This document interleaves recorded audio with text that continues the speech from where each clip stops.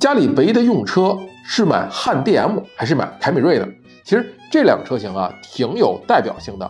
一个是中国品牌，比较新的产品，又是新能源的身份，对吧？价格优势、配置优势和动力优势。那买丰田凯美瑞呢？第一，合资品牌；第二，求稳。至于产品的优势，那基本可能就没有什么了，对吧？所以该怎么选择呢？我看了看，其实首先在价格上，汉 DM 比较建议大家买的版本就是二十一点九八万元这款，叫四驱性能版豪华型，就是价格比较合适，配置也合适。再往高了呢，我觉得有点小贵了哈。配置上啊，就不用多说了。整体讲的话，咱们日常能想到的配置它都有了，唯一欠缺的是它只给主驾驶配备了座椅加热、座椅通风。没太照顾副驾驶，但是如果你要照顾副驾驶，就得买那个再高一个配置车型了啊。动力上就不用讲了，汉 DM 它的整体表现优势就是动力表现，又是四驱，又是 2.0T，又是电机辅助，整个这个动力表现已经可以看起很多小钢炮车型了。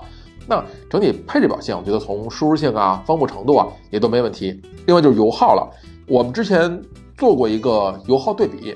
拿它呢去参考了奥迪 20T A4L 这个车型，当时看到了它的整体油耗比 A4L 确实要更低一些，所以我觉得这车咱可以说是第一，呃，相对比较省油；第二，动力性比较好，对吧？而且我买这车还不用交购置税，又省两万块钱。那买凯美瑞图什么？凯美瑞二十一点九八万元，你买到的是二点五升的豪华，就是自吸这个动力版本，二点五加八 AT，这个动力确实够稳妥。但是其他的从日常使用的舒适性，包括高速的一个行驶质感、内饰的用料讲的话，确实跟比亚迪汉差别挺大的。我觉得买凯美瑞啊，可能更多的是为了那个品牌，让人觉得我买了一个合资，然后后期用着相对啊放心一点。但是我觉得中国品牌现在产品的稳定性基本也没有太多可担心的，而且从质保方面也更长。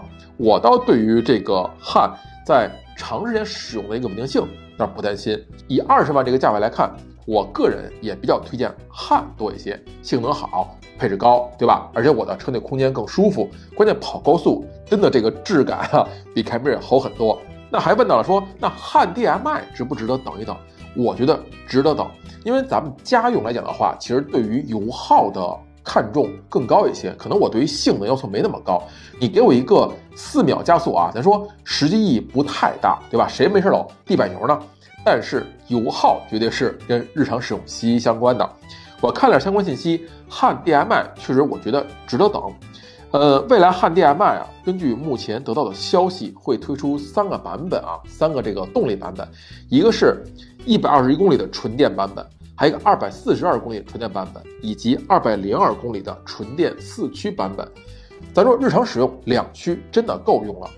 从整体的看，我倒是比较建议优先考虑汉 DM-i，只是稍微等一等，因为呃目前还没有确定它最终的一个上市时间，呃估计啊可能得第二季度或者第三季度了。